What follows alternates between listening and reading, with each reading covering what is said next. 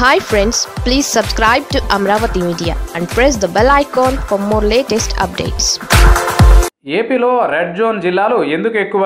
ఇది అసలు నిజం. ఏపీలోని పదకొండు జిల్లాలను రెడ్ జోన్ జిల్లాలుగా ఇటీవల కేంద్ర ప్రభుత్వం ప్రకటించడాన్ని ఆధారంగా చేసుకుని టీడీపీ నేతలు ప్రభుత్వంపై విరుచుకుపడుతున్నారు. జగన్మోహన్ రెడ్డి వైఫల్యం వల్లే పదకొండు జిల్లాలు రెడ్ జోన్లకి వెళ్ళిపోయాయి అంటూ విమర్శలు చేస్తున్నారు.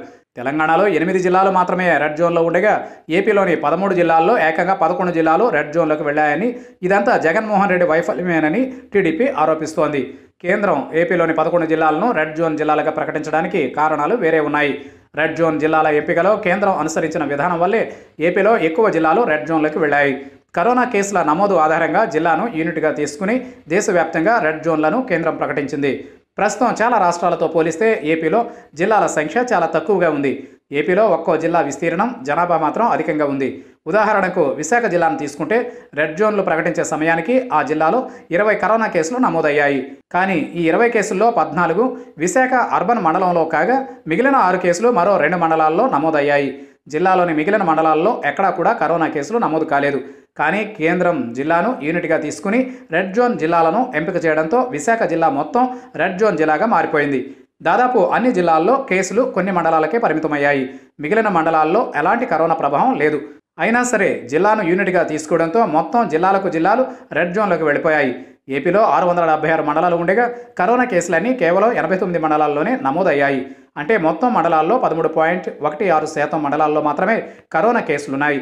మండలాలను యూనిట్గా తీసుకుని ఉంటే ఐదు వందల ఎనభై ఏడు మండలాలు గ్రీన్ జోన్లో ఉండేవి. కానీ జిల్లాను యూనిట్గా తీసుకోవడం ఏపీలో జిల్లాల విస్తీర్ణం ఎక్కువగా ఉండడం సంఖ్య తక్కువగా ఉండడంతో పదకొండు జిల్లాలు రెడ్ జోన్ జిల్లాలుగా మారాయి. పక్కనే ఉన్న తెలంగాణ ఏపీ కంటే చిన్న రాష్ట్రం అయినప్పటికీ అక్కడ ముప్పై మూడు జిల్లాలు ఉన్నాయి. చిన్న చిన్న జిల్లాలు కావడంతో చాలా జిల్లాలు రెడ్ జోన్ నుంచి తప్పించుకోగలిగాయి. తెలంగాణలో కూడా ఇది వరకులాగే పది జిల్లాలు మాత్రమే ఉంటే అక్కడ కూడా ఏపీ తరహాలోనే దాదాపు అన్ని జిల్లాలు రెడ్ జోన్లలోకి వెళ్ళి ఉండేవి. ఏపీలో జిల్లాల సంఖ్య తక్కువగా ఉన్నందున మండలాన్ని యూనిట్గా తీసుకుని రెడ్ జోన్లను ఎంపిక చేయాలని ఏపీ ప్రభుత్వం కేంద్రాన్ని విజ్ఞప్తి చేస్తూ వచ్చింది. కానీ దేశవ్యాప్తంగా జిల్లాను యూనిట్గా తీసుకోవడంతో ఏపీకి ఇబ్బంది వచ్చింది. ఏపీలో కూడా తెలంగాణ తరహాలో చిన్న చిన్న జిల్లాలు భారీగా ఉండి ఉంటే చాలా జిల్లాలు రెడ్ జోన్లో కాకుండా గ్రీన్ జోన్లో ఉండేవి. కేంద్రం జిల్లాను యూనిట్గా తీసుకోవడం వెనుక దురుద్దేశాలు కూడా ఏమీ లేవు. ఏది ఏమైనా మండలాన్ని యూనిట్గా తీసుకుని రెడ్ జోన్లను ఎంపిక చేసి ఉంటే ఏపీలో ఎనభై ఆరు పాయింట్ ఎనిమిది నాలుగు శాతం మండలాలు గ్రీన్ జోన్లో ఉండేవి. కానీ జిల్లాను యూనిట్గా కేంద్రం తీసుకోవడంతోనే ఏపీలో పదకొండు జిల్లాలు ఎక్కువ రెడ్ జోన్లుగా ఉన్నాయి.